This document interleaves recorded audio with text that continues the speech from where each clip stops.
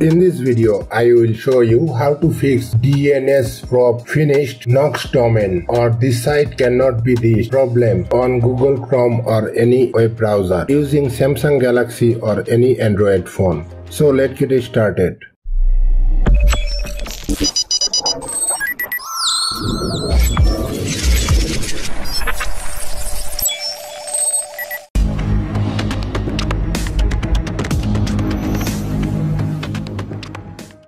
Here I am fixing this problem using Google Chrome browser. But according to this video, you can fix this issue using any web browser in Android. First of all, open your browser, then tap on three dots.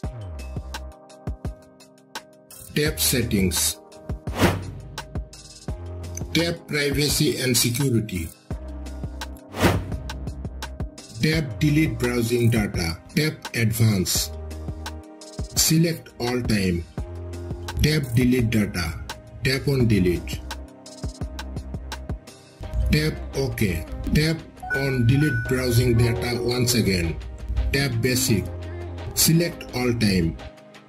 Tap on delete. After that, restart your browser and try to access your desired website. This time I hope your problem will be fixed. If this method not working for you then go ahead with the next method. Method number 2. Open your browser then tap on three dots. Tap settings. Tap privacy and security. Tap on use secure DNS. Tap choose another provider. Tap here then select Google Public DNS. After that, relaunch your browser and try to access the website that is not working. After that, I hope your problem will be fixed. In case your problem is still remains, then see the description of this video for advanced solution. That's it. Thanks for watching.